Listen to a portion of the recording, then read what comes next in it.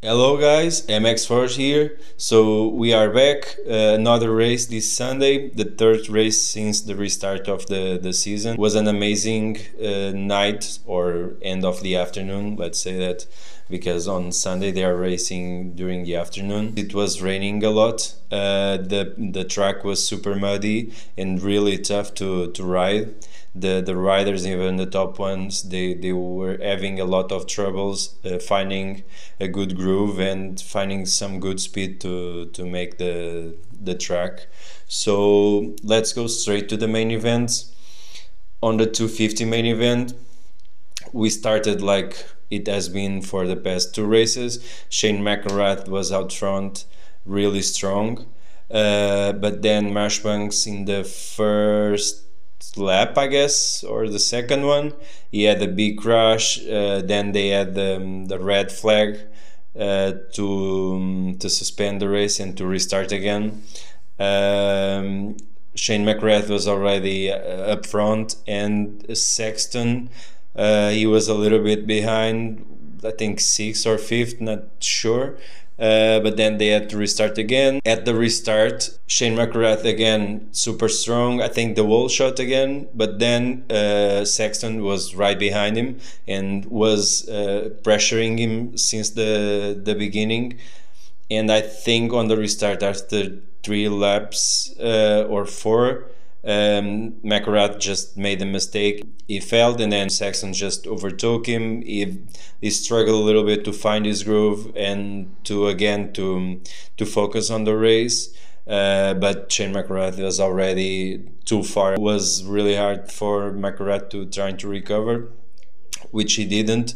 Uh, but was um, like a slow race, and they were even lapping really into the the field like we, it happened as well on the 450 but i think in the 450, 450s was even worse uh, they were really going into the field overlapping um, a lot of even top riders um, that on the top positions but um, it was a good race. Uh, the third rider was uh, Nichols, called Nichols, but he was already also uh, a lot behind all of those two guys. Those two guys that they were faster throughout all of the, the day and even during the, the race.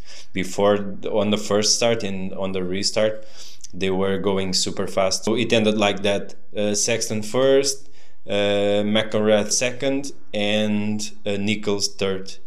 Uh, and right now Shane Sexton is in in the first position of the championship. Now they're gonna they're gonna have a break, and it will come the the other 250 riders from the west side. They will come back with Dylan Ferrandis and uh, the other guys. So on the 450s, uh, there was no second restart. Um, so since the beginning and let's just uh, make this as well talk about this because ken roczen um, he made a post during last week saying that he was struggling to um, with the breathing because he had a lot of trouble. As the racetrack in salt lake city is a little bit elevated so he was saying that he was struggling a lot with uh, with breathing. I don't know if that's only it because I told in the previous video as well, it seems like Ken Roczen is being very conservative on his racing. We have to consider as well, just a few years ago, he almost lost his arm on that big crash, and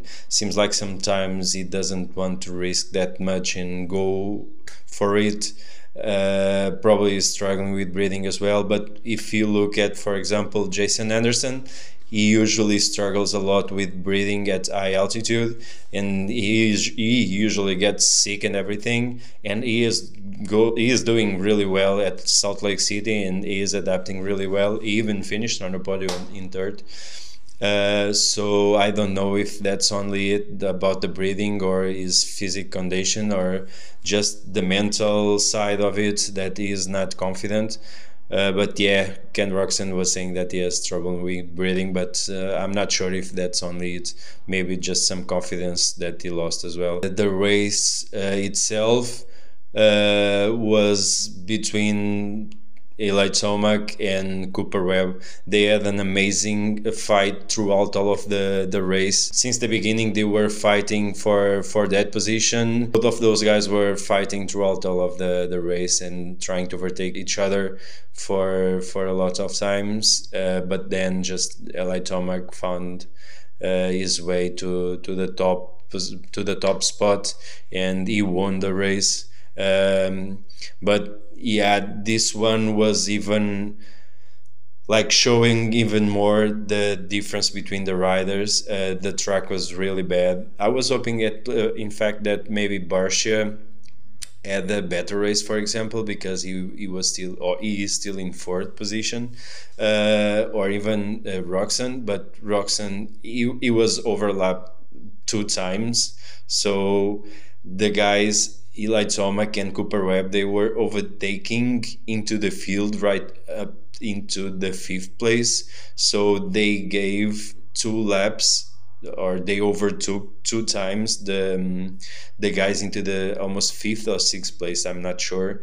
So I guess frustrating. For example, guys like Barcia or Ken Roczen, seeing Eli Tomac and Cooper Webb overtaking them twice in the in the in the same race that's a little bit humiliating, I guess, for them. But they they they don't they just don't have the pace for those two guys right now. Jason Anderson, he was riding really well also uh, Osborne is he has been really fast and he has been up front as well.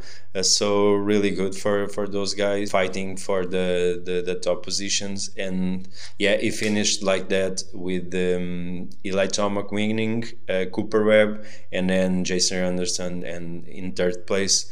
So yeah next we have another race. Uh, let's see if it, if it is raining like this one as well uh, but let's hope that we have um, good racing like we had this one. At least between Eli Tomac and Cooper Webb they were fighting really hard to to win the, the race. And just hope as well that the other guys step up a little bit and add a little bit more to the to the show and to the racing. Because none of them right now for what I've seen have the the speed for for these guys and yeah that's it. Uh, hope you enjoyed the video guys and i'll talk to you in the next one.